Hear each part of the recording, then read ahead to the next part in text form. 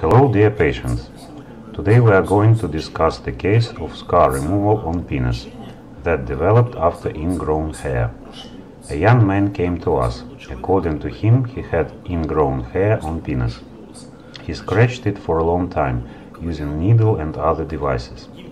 As a result of that, a scar developed. You can see it on the picture.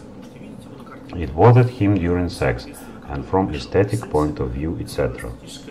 It swelled, it was dense, so he wanted either to diminish it or to remove it somehow.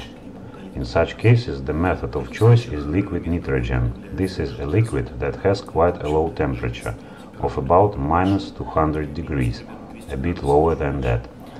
So this can be done by cane method as is shown on the picture. A wadding stick is taken, we also have a special device. When small neoplasms are removed, we use cryo device. However, in this case, a common wadding stick can be used.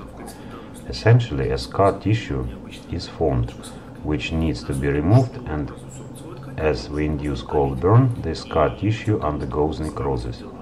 As a result of that, erosion is formed. You can see it on the picture. This erosion is basically a necrosed scar, a consequence of this scar burn and it gradually heals and becomes significantly smaller. You can see the result of first burning by liquid nitrogen on the last picture. The scar did not disappear completely, but it became approximately 2-3 times smaller and it no longer induced discomfort during sex. This satisfied the patient and he did not come to the next removal, because he was quite satisfied by the results of the first removal.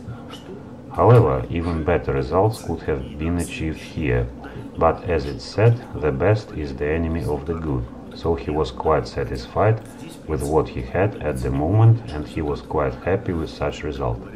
So you should remember that if there are any growths in the area of sexual organs that are not condylomas acuminatus, for example, you can watch a separate video about this topic on our channel. That are the consequence of some scars or the consequence of skin growths, then in some cases they can be removed by different methods, including liquid nitrogen. If it is necessary to do such procedures, you can consult the neurologists and urologists of our paid medical center of Dermatovenerologic Dispensary in Moscow. We have experienced specialists who do such removals and diagnostics of these growths. We are waiting for you in our clinic. Please subscribe to our channels on YouTube and Instagram. Thank you for your attention.